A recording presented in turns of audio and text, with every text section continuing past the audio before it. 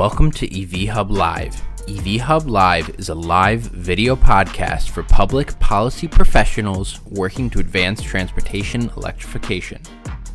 EV Hub Live is recorded live, so to tune in and ask questions or check the schedule, please visit atlasevhub.com/live. In this episode of EV Hub Live, Nick Nigro will sit down with Michael Berube, Deputy Assistant Secretary for Transportation at the U.S. Department of Energy, and Joe Britton, the Executive Director of the newly formed Zero Emission Transportation Alliance. We'll be discussing vehicle and charging technology progress we can expect in the near term and the importance of U.S. leadership in electric transportation. This episode is produced by Peter Benzoni and Connor Smith analysis from Nicole Lepre, all of Atlas Public Policy. Thanks, Peter. Uh, sorry about the little technical glitch, folks. Um, Teams uh, was giving us a bit of trouble. Uh, so one of our guests, Michael, is going to be dying. Uh, so we won't get to see his pretty face today, but um, but we still get his access to his big brain for for a little bit. Uh, so I'm very excited about this episode, not only to talk to Michael, but also to Joe Britton, the new uh, ED of, of Zeta, and find out more about what that organization is about, what they're going to try to do in Washington. Uh, before we get to the conversation, uh, I'd like to turn it over to Nicole Lepre of Atlas Public Policy to give a quick update on the market. Nicole? Great, thanks, Nick. Um, so we have the slide up. Great. On EV Hub, we're tracking 61 new EV models that will become available in the United States by the end of 2025. BMW leads with six upcoming models, followed closely by Audi, Mercedes Benz, and Volkswagen, each with four or more upcoming models. Globally, automakers have made commitments to manufacture hundreds of EV models this decade, but the exact timing on these releases is not always clear. In the US, GM is a leader with plans to spend $27 billion to bring 30 new EV models to market over the next five years. Ford is also stepping up and plans to spend $11.5 billion globally through 2022. Ford's planned EV models include the e Transit van and an electric F 150, their best selling gas vehicle. Across the auto industry, plans are in motion to invest more than $23 billion in U.S. manufacturing facilities to build EVs. And Peter, you can jump to the next one. Great. In policy news, GM and Nissan announced that they would pull out of the Trump administration's efforts to revoke California's ability to set more stringent standards for tailpipe emissions than the federal standards. The move is a strong signal that the auto industry is moving toward a less adversarial posture with California and the states and a return to the consensus approach taken with the Obama administration. Other supportive EV policy news includes California's adoption back in June of the Advanced Clean Truck and Bus Rule, which calls for 100% of truck and bus sales to be zero emission vehicles by 2045. And in late September, California Governor Gavin Newsom signed an executive order calling for 100% of new passenger vehicle sales to be electric by 2035. Back to you, Nick. Thanks, Nicole. So we're going to start with you, Michael, uh, and I'd love to know more about your perspective on the federal government's role in supporting battery technology and EVs.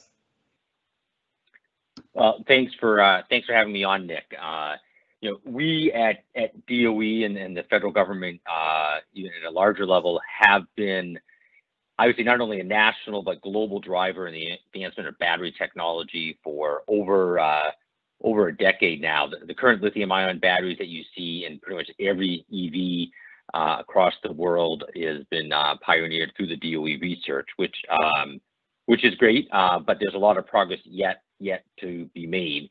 Um, we're working aggressively to get costs down further, to get energy density up, which is both a cost and a, and a weight and a range range issue. Um, and we see great progress uh, going forward. So uh, love through the conversation here to share more of that with you and your listeners. Thanks, Michael. Uh, Joe, what is Zeta and uh, who's in it? And what are you trying to do here in DC? Yeah, no, I appreciate it. Well, thanks for having me on. We are 37 companies now. We started with uh, 28 on our launch, and so we've been growing uh, over the last couple weeks. But the Zero Emission Transportation Association is a collection of manufacturers, battery folks, uh, supply chain, charging, and then utility interests that have come together to accelerate the transition to EVs. And you know, really, we're focused on kind of five key policies. One is consumer incentives. Uh, two is infrastructure investments. Um, then three is support for state and locals uh, as they deploy that infrastructure, which is both convening and resources. And then, you know, support for domestic manufacturing, which I know we'll talk a little bit about today, certainly in the battery space. Um, and those are all kind of the carrots. We obviously feel, um, you know, our fifth bullet is that we think we ought to go back to strong uh, fuel efficiency and greenhouse gas uh, standards to send the right market signal um, that we're moving. And this is a 10 or 15 year transition and not a 40 or 50 year transition. So that's that's what brings all these uh, interests together and kind of diverse stakeholders to convince the federal government to um, help us move along. And I think that is a, a nice pairing with what DOE has done on the research and, and kind of commercialization side is to, you know, put in place the federal incentives to, you know, create an ecosystem where consumers and charging build out and the manufacturing is there to accelerate the transition.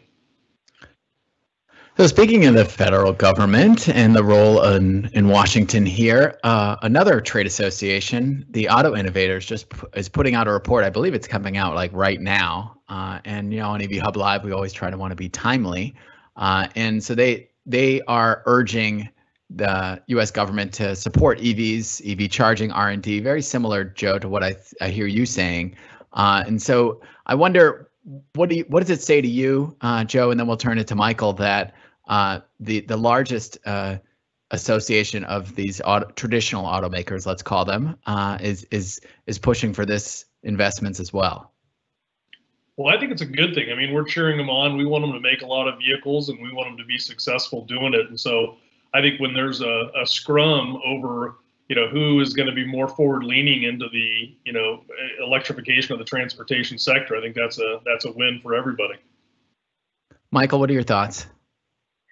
Yeah, I you know I I agree completely, and I you know just reading a few of the headlines of what they're talking about. Certainly, support for increasing R and D, um, I think is is right on point. You know, while we've made a lot of progress, we're not there yet. Uh, but we see, you know, at this point, we see line of sight out into uh, 2028, 2030 when you actually have, you know, a full range of vehicles that can be electrified vehicles that are as cost effective, more cost effective than their ICE counterparts due to you know battery costs, electric drive costs coming down.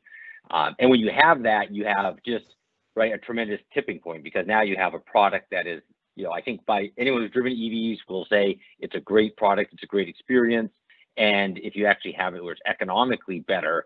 Um, you see kind of a switch over to, to mass adoption. So in my mind, there's two two critical things that have to be happening simultaneously. We have to keep pushing hard on the battery technology, uh, to both to make sure we get there as well as to make sure the U.S. maintains a technological leadership. Uh, and then we have to, in parallel, be doing all of the other things to get to EVs at scale to make sure we have the grid aligned to be able to handle larger numbers of EVs, to make sure we have the charging infrastructure there, to make sure we have the recycling infrastructure so that we have the uh, the supply chain of those raw materials, um, you know, coming in. Because without that, you know, one you'll have a cost issue if you don't have the right raw materials, don't have enough supply there, but you'll also have a, a new dependency issue, which no one wants to see. Right on. So, so we're showing this uh, chart from Bloomberg New Energy Finance. They they do a a survey annually of of pricing on batteries, and they're just about to come out with their latest uh, for 2020. And what it's showing is kind of what what you all what you all are saying in that the prices are coming down considerably. They've obviously come down a lot in the last 10 years, but they're coming down. They continue to come down. Uh, some it looks like their 2020 figure is about $135 per kilowatt hour, which is down from well over a thousand uh, 10 years ago. So we're on the way. Uh, you know, Michael, you sound optimistic about battery price declines. General Motors uh, with their uh, Ultium product and Tesla with their big battery day a few months ago all seem to be equally optimistic. Uh, Michael, tell us about these major automakers uh, and their announcements. it sounds like you're on board with them, but how does the DOE uh, or what's the DOE's role in in helping these companies achieve these goals? We um, we started a consortium called USABC, United States Advanced Battery Consortium, uh, probably about uh, I'd say six seven years ago, where we work very closely um, with the with the really the time Detroit, Detroit three automakers on the most cutting edge technology. Um, we also have relations with other battery makers through a few other efforts as well. And so I think there's um, a pretty tight ecosystem there. I think we're all pretty aligned on the technologies. Um, I think an important thing for people to know is it's not just a matter of, hey, keep building more and the cost will come down. Um, there actually are new chemistries and new technologies that I think we all believe are needed. You heard a lot of stuff in the news in the last few days on solid state batteries, uh, some announcement Toyota saying they'll have prototypes out there and plan to have a production car out there. So you think um, they can do this? Batteries. So you think um, they can do this? I, yeah, we know the technology. Um, we think solid state batteries will very likely be a critical part. The problem is kind of being able to manufacture them um, well at scale. It's really hard to make these uh, with good quality. So I think what you're going to see is you're going to see different people starting to come out with them. Um, there'll be some challenges initially, but you know that's how we learn, right? You got to start with low volume and get to higher volume. So solid mm-hmm. state is one, but also going to um, lithium sulfur um, or lithium metal type batteries, uh, increasing the silicon content in the anode. There, there are a number of chemistry items as well as how you make the batteries that will need to change and adjust over the next 10 years to get down to that, you know, 80 to 100 dollar level. That's that magic level where you get there and you're actually as cost effective as an IC uh, IC vehicle.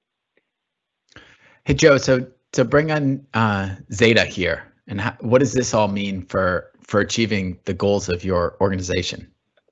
Well, I think one of the things that's different about Zeta is we're trying to take a a building block approach. So instead of a ZEV mandate or a gas powered car ban, we're trying to put in place the pieces to help us get there.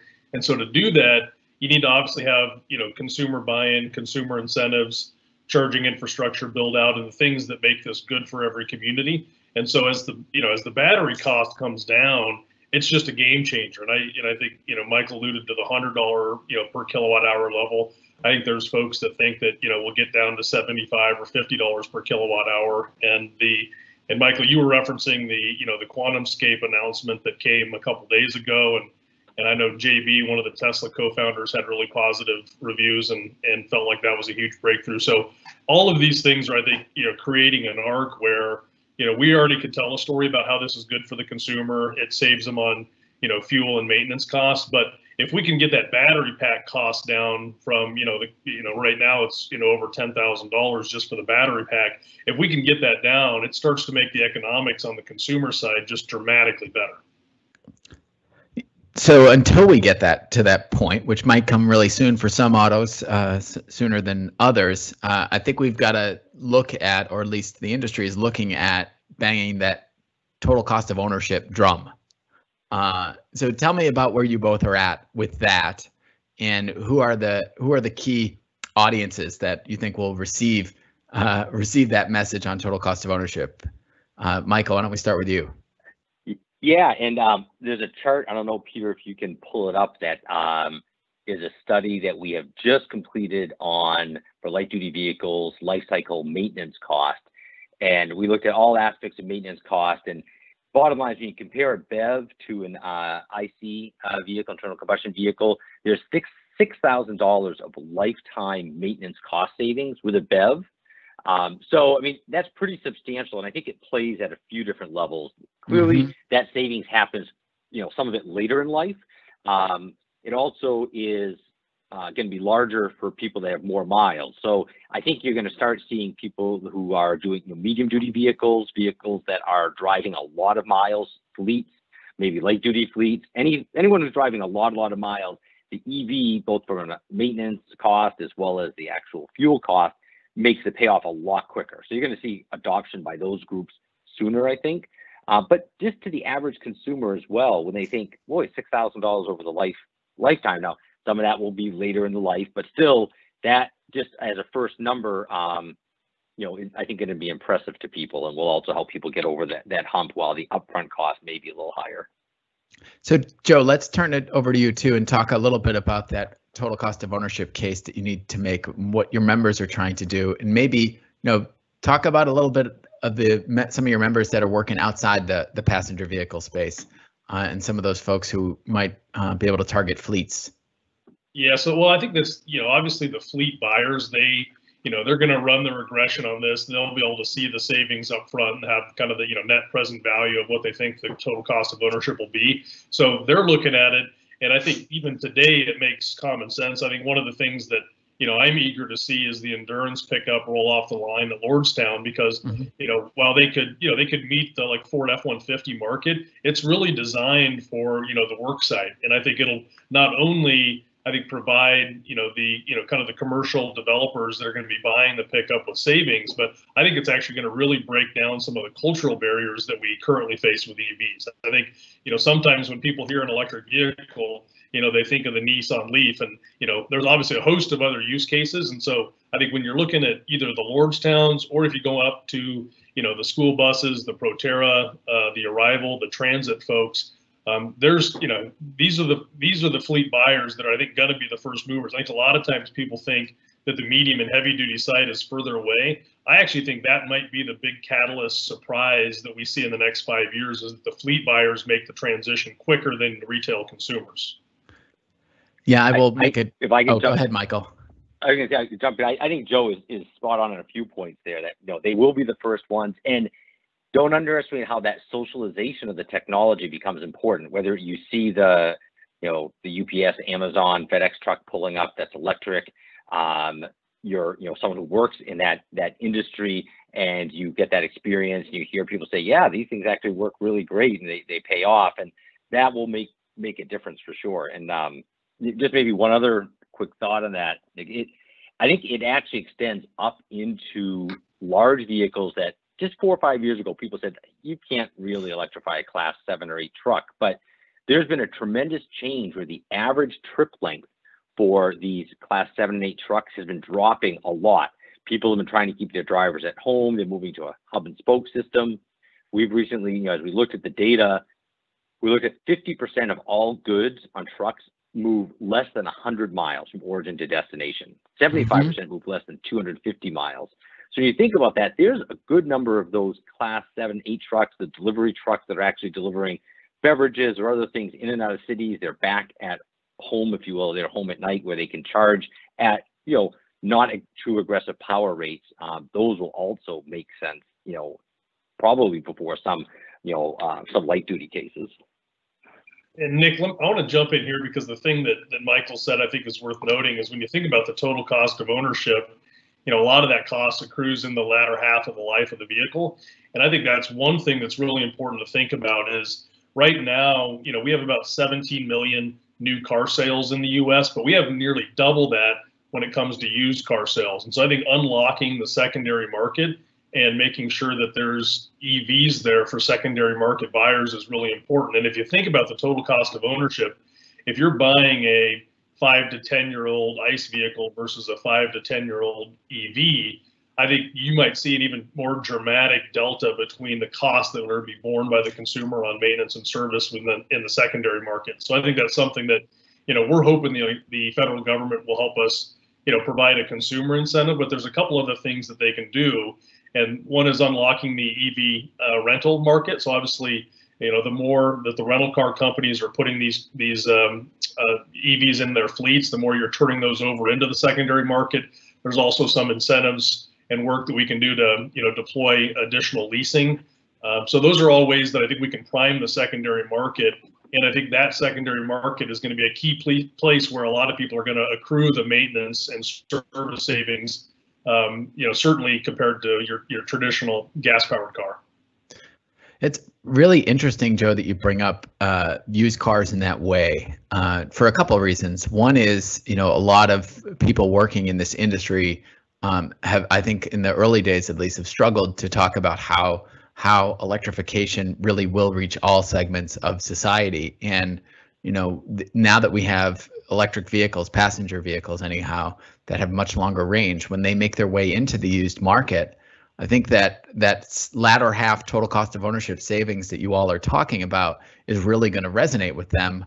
I know I'm thinking back to my first uh, car when I was a kid, an 85 Dodge Lancer. That thing was a you know a POS. I had to fix it constantly. Everything fell off of it, and every moving part broke. Uh, and so it, it, it's um it's exciting to think what what might be possible with the with the used market uh, in the near future.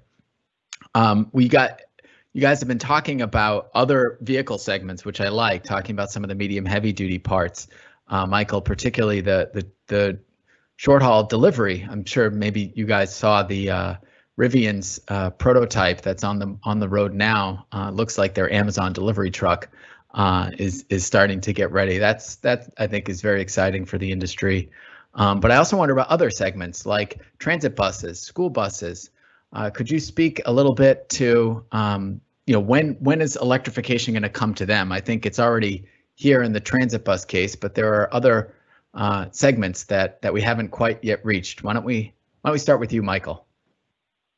Yeah, I think you know transit bus. Um, if you talk to the people who are the bus makers and you talk, you know, these buses are typically ordered well in advance uh, on a replacement cycle. So they look at their forward looking orders. Uh, I haven't checked in with them in the last year, but even a year ago, those forward looking orders were pretty high percent EVs.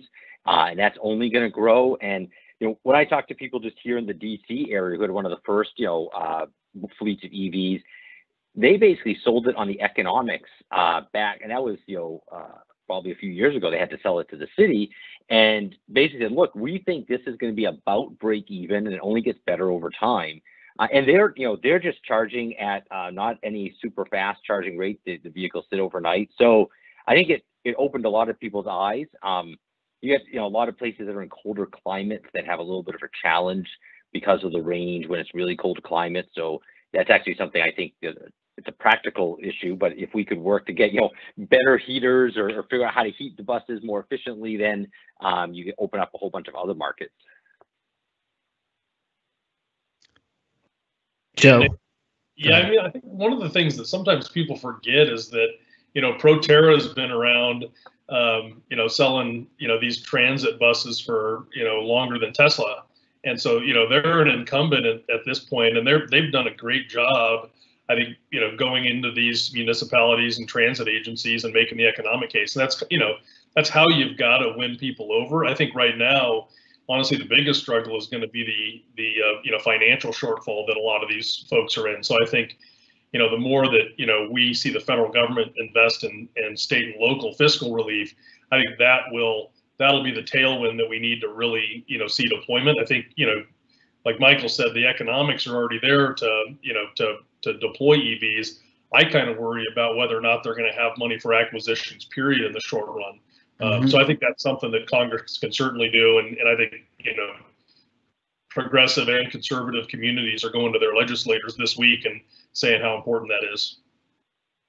Yeah, our own research on fleet electrification, we just finished a study for the state of Washington, kind of showed that there's a lot of savings, particularly in the transit uh, bus space and passenger vehicle space, sedans, uh, in the very near term. And you can imagine pub, local governments, state governments uh, looking at least cost options. Uh, some years ago, you know, there was a lead by example uh, sort of uh, trend in the in the government space uh, for EVs, and they were they were loss leaders. You know, they were losing money on those vehicles. It's exciting to think about uh, EVs now being sort of more economical, logical choice, particularly in the in the you know the current fiscal climate that we face. Um, let's let's switch, switch gears a bit and talk a, about charging. Um, so we've got 350 kilowatt charging stations being deployed now for passenger vehicles in, in some by some companies like Electrify America and such around the country. I will say back when we EVs started 10, 12 years ago, you know, we were talking about the nearest charging station is the outlet in your wall. And now we're at 350 kilowatts. You know, Michael, let's start with you. And when when do you think car companies are going to have vehicles out on the road that can charge at that rate? And you know, how important are these kind of fast charging networks as a backbone in in the EV market? Yep. fast charging um, is absolutely going to be important. And like you said, it's um, maybe backbone isn't quite the right word. That kind of suggests it's the maybe the core, or the bulk of it. I think the the plug uh, in your house is still going to be the backbone. That's going to be where most of the mm-hmm. electrons flow to your EVs. But um, it's an important part of the of can't quite think of the right uh, anatomy analogy here, but for the overall system. You can call them a femur if you want. That's fine. Yeah, maybe femur there, maybe the uh, thinking more like the veins, if you will, thinking about the highway network map. But yeah. it, it's a confidence builder for people, um, and it's the imperative use. You know, it may only happen twice a year, but if it if two twice a year you have to have it, that's an imperative use, and people will make purchase decisions based on that. Um, you know, when, but I think the bigger question is how fast do you really need? I think the the 350, 400 kilowatt and, and faster. Um, you know, some of those like larger batteries, bigger trucks, there's maybe an argument there.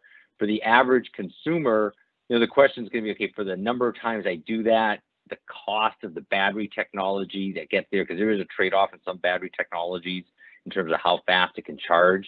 Um, so I think that's still a little TBD um, on on when you have that being there. And the other big thing I will say is as we develop those fast charging networks, even though we know people, many people will be able to get almost all the electrons from home, the question is going to be if the fast chargers are there and it's convenient, do people utilize them anyway? Even though they don't quote unquote need it, they're going to do whatever's easiest, and most practical for them, um, which could become a bit of a bottleneck, right? Because then maybe you have other people who I, they really need it. They don't have a charging at home, and that's their only option. So how do you how do you prioritize that? How do you manage it? It's kind of like this, uh, what I consider the messy middle. Like it'll be easier to see the long term. You can see where we are today. There's definitely going to be this messy middle as we're deploying new technology and the technology across the vehicles is varying. So to me, that's maybe one of the biggest things we need to focus on is how do you manage that next 10, 15 years um, so that it's a, a positive experience and that, um, something that accelerates deployment versus slows it down. Joe, give us Zeta's uh, position on on fast charging infrastructure, networks, that kind of thing? So we actually did an analysis, and I think you know what we see is that you know 70% of charging is still going to be at home, but that's you know I think gives us a target then for the federal government to you know help close the gap and and I think you know we you know think that you know if we're at 100% electric vehicle sales by 2030, we're going to need about four million um, you know, light duty charging units, and then you know another 400,000 on the medium and heavy duty side. And I think you know the benchmark that we've kind of just set of what we expect between kind of L2, you know, your sub 50 and then your, you know, your north of 50 direct current fast charging is about 90 10. So I think, you know, we we sense that about 10% of those, um, you know, non-resi charging will need to be DC fast charging. And so, you know, it is a huge, you know, psychological element and a cultural element. You know, I think people still envision, you know, that you know road trip to grandma's house for Thanksgiving, and you know, is their car going to be able to to get them there? And I, like Michael said, like unlocking that and providing, you know, an assurance that you know that fast charging is going to be there, I think is huge.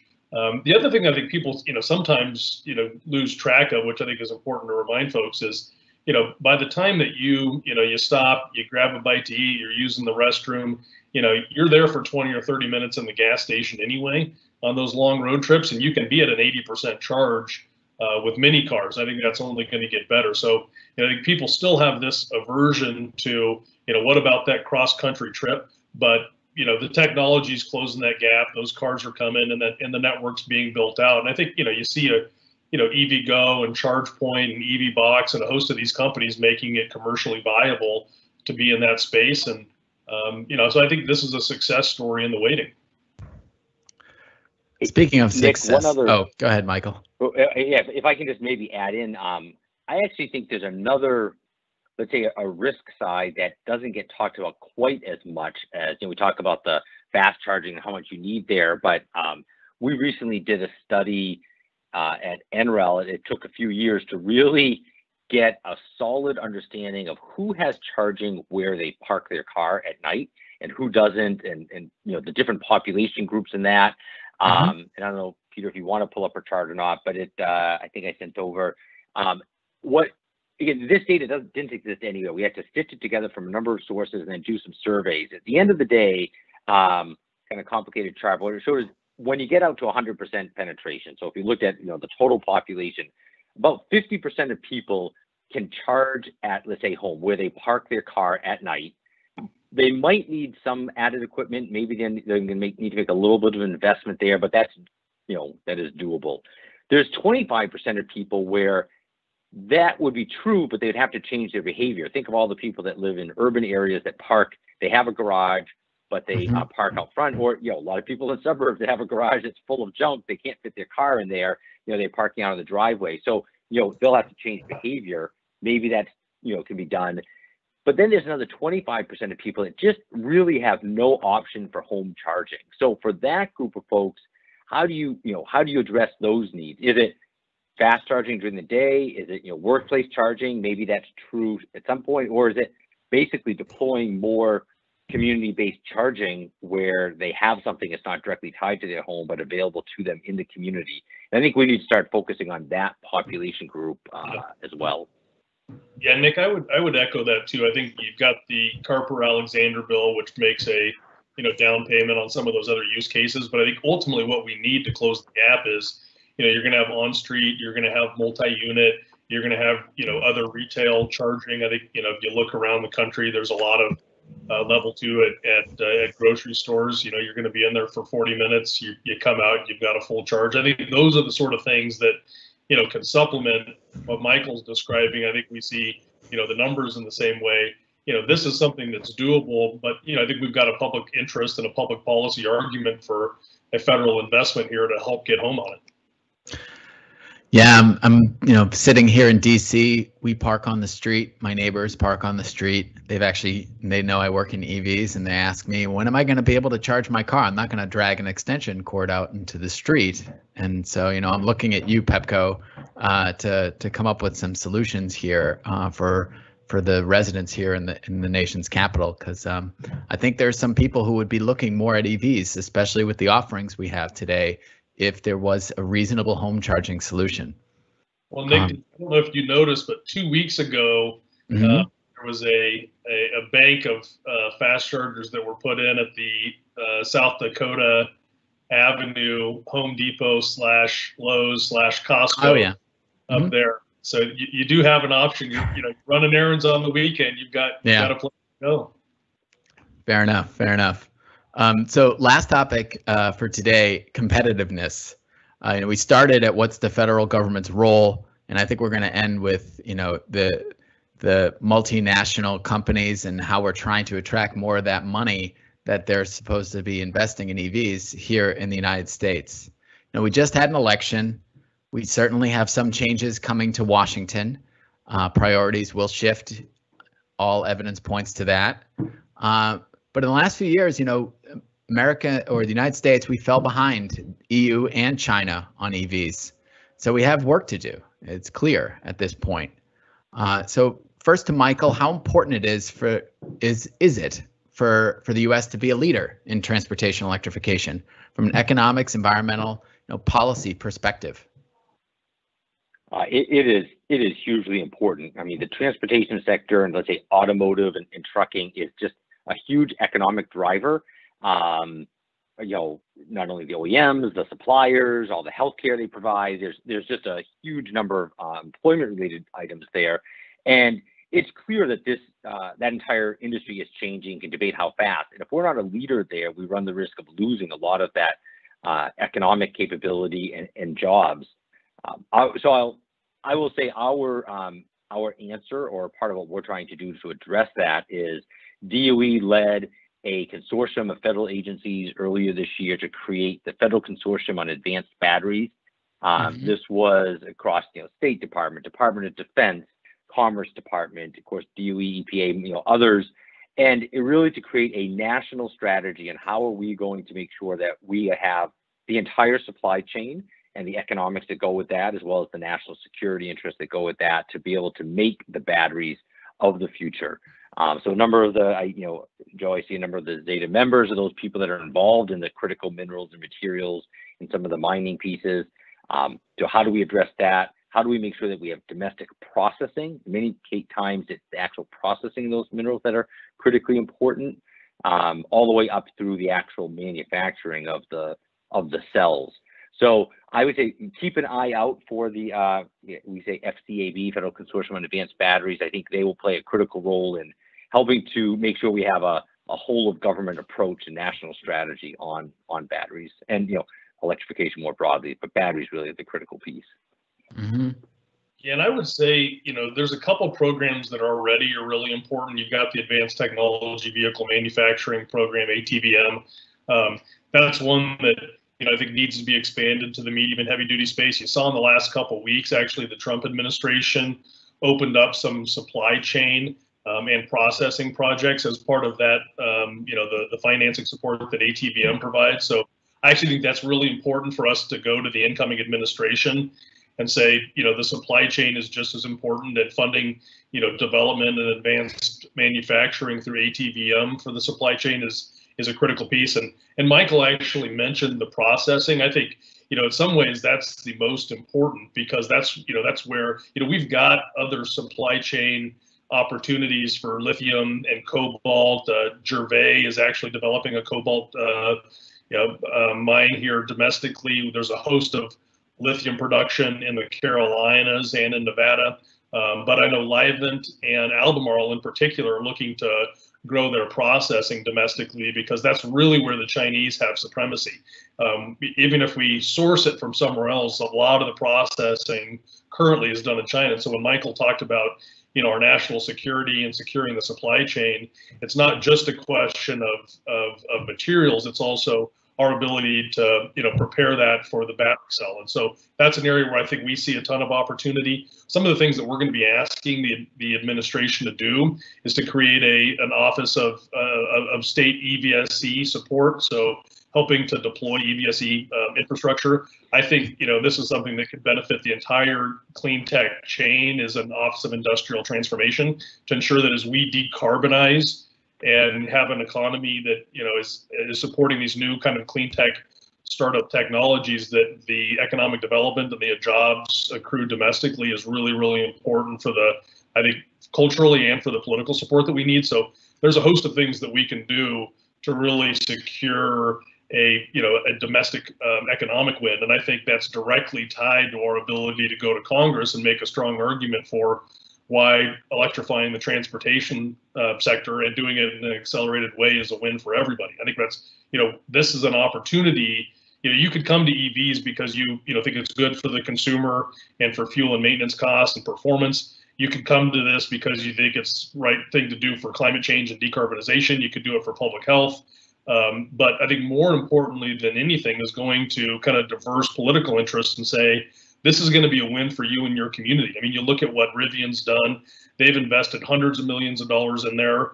Uh, I think what was a former Mitsubishi plant. Lordstown has done that with the former Chevy Cruze plant. So they're creating thousands of jobs, investing hundreds of millions of dollars, and all of a sudden, you know, the predisposition that you might have as a member of Congress about EVs tends to evaporate once you know once you see that kind of economic development. And I think we'll have a opportunity to show that we're creating jobs in every congressional district in the country.